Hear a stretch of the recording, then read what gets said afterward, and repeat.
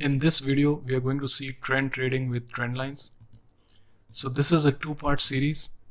And in this uh, series, I'm going to explain you the trend line method suggested by Thomas DeMark. In the first series, uh, we'll going to, we are going to identify TD points. And uh, in the next step, what we are going to see is after identifying relevant TD points, how to join them and make them into TD lines, that is trend lines. In the next part, we'll see entry, exit, and stop loss. So TD points is nothing but a pivot point.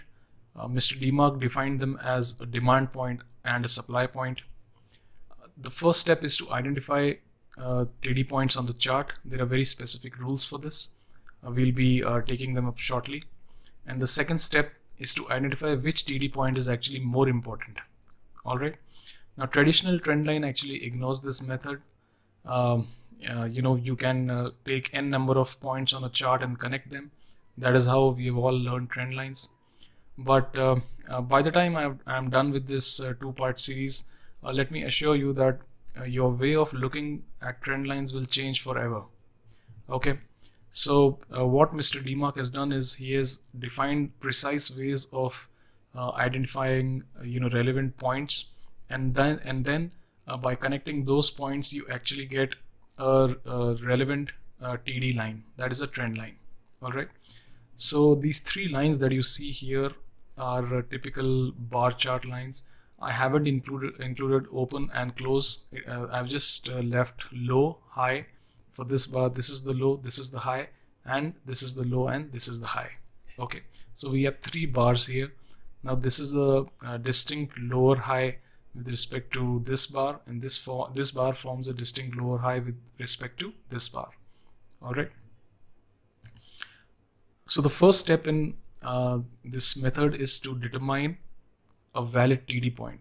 Now as far as TD point are concerned there are various level of TD points that is level 1 level 2 level 3 so on and so forth. So here we have a level 2 TD supply point. What it means is that uh, take this bar into consideration. Uh, there are two bars before this bar which have distinct lower high. This is a lower high with respect to this high and this is a lower high with respect to this and this high. And same goes on the right side. Now when you identify a relevant TD point the balance has to be maintained on both sides. That is if you get a two or three relevant lower highs here there has to be at least three lower highs here for this to be qualified as a level 3 TD point. Now I'll just explain again. If you look at this bar, there are two highs before, two lower highs before this bar, 1, 2, right? And same on the right side, 1, 2. So this becomes a level 2 TD point. Okay. So the importance of a TD point is actually determined by the number of surrounding highs and lows. Okay. So a level 2 TD point will be more important than a level 1 TD point. So this this chart that you see is actually level 1 TD point. There, there is just one bar bar which is which has a lower high with compared to this high and same on the right side. Okay. So now we come to this is a level 1 TD supply point I have just explained. Look at this. Now this is a level 3 TD supply point. Why? Because take this bar as a reference bar. So we have one, two, three lower highs, right? On the left side, we have one, two, three lower highs, right? So this becomes a level three uh, supply point. Now level 3 TD supply point has much greater relevance than level 1 and level 2. Okay. So we'll just take up a level 3 TD demand point. A TD demand point means you have higher lows on this side and higher lows on left side. So why this is level 3 TD demand point? Because we have 1, 2 and 3 higher lows. Alright. Same on the right side and on the left side. 3 distinct higher lows. Okay. But it has to be equal. Sometimes it may happen that you just get 3 higher lows here and you get 7 here.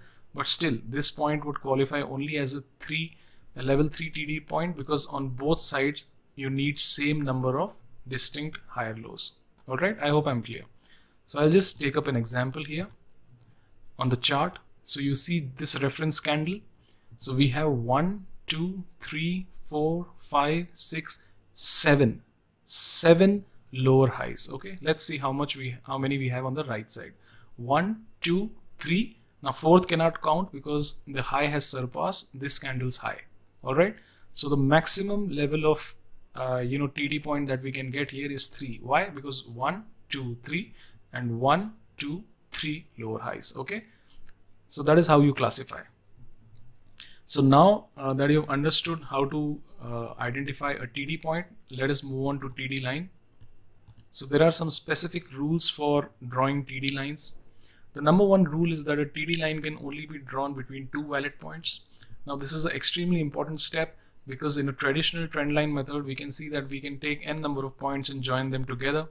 So that creates a sort of confusion uh, as to which point we should prefer uh, or which points we should prefer, right? So in this method we have a very clear guidelines that is we need only two valid points, right? and the TD lines are actually drawn from right to left. Now hypothetically, let's say we have to draw a TD line, a normal trend line. I'm sorry, a normal trend line on this chart. What we do is we take up this point, we take up this point and we just draw the line, right? So we are going from left to right.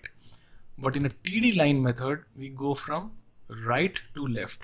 Why this is important? Because uh, while drawing a trend line, you start with the most recent price action. Okay, so that is why this trend line method is actually closest to what the market is doing right now, right? So the next rule uh, that we have to apply for TD line is that we need to have same level of TD points, right? So that means a level 3 TD point has to be connected with another level 3 TD point.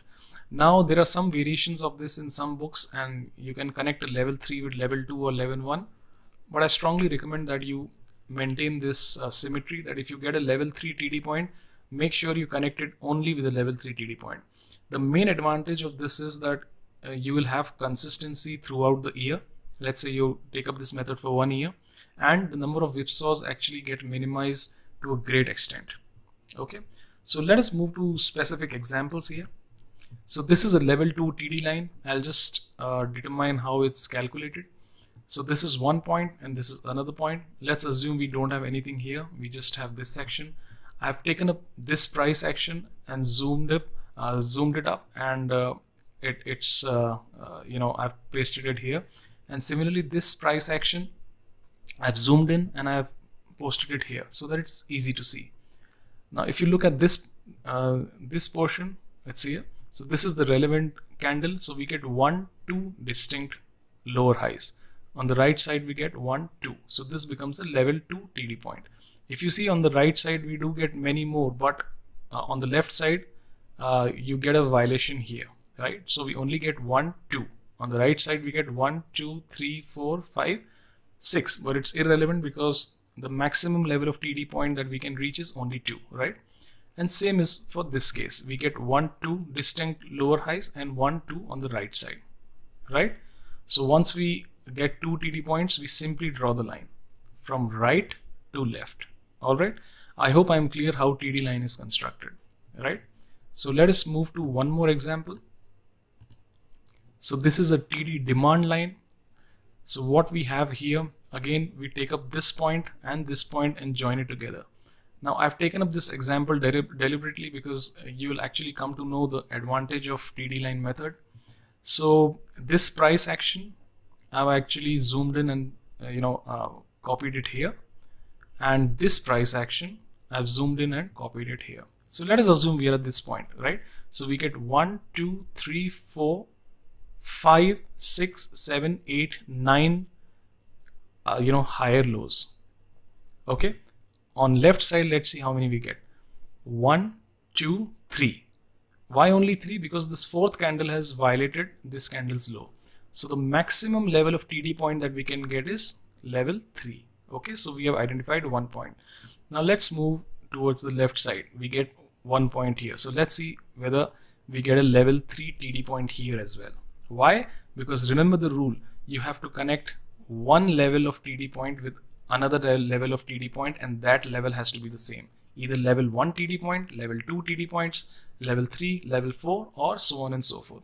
I hope I'm clear. So we get one, two, three. So criteria is satisfied. Let's come to the left side. One, two, third is not satisfied because we get a low that is lower than this candle okay so then we move to the left side we come to this retracement. So let us look here. One two three. On the right side the criteria is satisfied. Let's look on the left side. One two third. We, we third criteria. Third candle is uh, it violates the criteria because we get a lower low with respect to this candle. So then we again move to this point next pivot point. So we get one two three on the right side. On the left side we get one two and three right so three higher lows here and three higher lows here. So this becomes the point number two. We take a, a, take a we start a line from here and extend it to here. Now see this is the advantage that you have removed all the irrelevant points and we have joined them. Now let's assume you don't know about this method. You know what you'll do. You'll just take up this point this point and this point and we'll draw a trend line from here to here. Now we have all done that and i think um, most of you who are watching this video you would still be doing this but don't do it because uh, we should be thankful to mr demark that this method uh, you know that he has uh, discovered with his research he has you know uh, shared with all of us. And um, again if you start practicing this you will be amazed to see how easy you know trading gets with trend lines. Okay? So i'll just sum up the key points so in the next section we are going to see entry exit and stop loss and targets. So don't miss out the next section. Always remember to start from right to left. That is the main advantage of demark trend lines that we stay close to you know the current price action. Uh, the third important point is that always connect the same degree of uh, you know TD points. That is, a, a, second level of TD point should be connected connected with a second level of TD point, or a fifth level of TD point should be connected with a fifth level of TD point. Okay, so higher degree of TD point, you know, it's it's always better to draw a trend line with a higher degree of TD point because obviously a level 3 TD point would have a higher significance than a level 1 or a level 9 TD line TD point or a level 7 TD point would obviously have a more significance than level 3 TD point. Okay so the main advantage of this approach is that it filters out a lot of whipsaws and again it gives you a consistent well structured approach towards trend lines okay so this is my mail id twitter and youtube in case you have any doubts do reach out to me and do watch the next uh, uh, video on trend lines. It will release tomorrow. In case you have any doubts, please, please reach out. Thanks a lot for watching this video.